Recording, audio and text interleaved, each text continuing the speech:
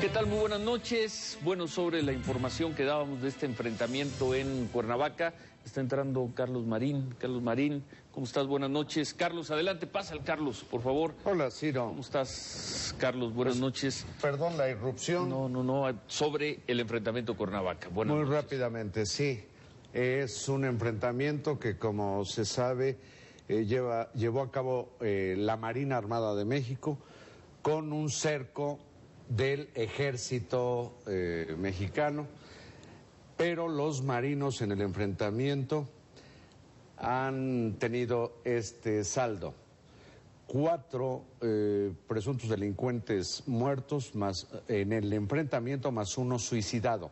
Pero de los cuatro muertos en el enfrentamiento, uno se llama, imagínate Ciro, Arturo Beltrán Leiva.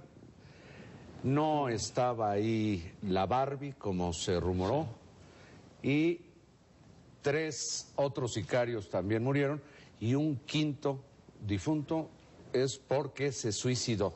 Pero entonces, De- por parte de la Marina hay tres soldados, tres marinos heridos, sin gravedad, y ese es el saldo de lo que de entonces eh, murió Arturo Beltrán Leiva. Arturo Beltrán Leiva, que es uno de los hombres más buscados de eso que le llaman los carteles del narcotráfico en México y con gran interés también por distintas policías del mundo.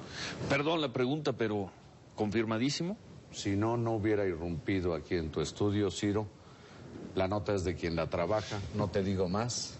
Buenas noches. Bueno, y qué, qué cosa, ¿eh? Sigue qué cosa, porque además esto empieza desde el fin de semana con esa fiesta donde Claro, cae, donde en caen donde- la marina, eh, detienen a los músicos, empieza una persecución por ahí y por lo visto no alcanzaron a salir estas personas, los Beltrán Leiva, hasta el enfrentamiento de las ocho y media, cuarto para las nueve y Carlos Marín nos está informando aquí, primicia, Arturo Beltrán Leiva, cabeza de ese cártel poderosísimo, cae muerto en este enfrentamiento contra la Marina.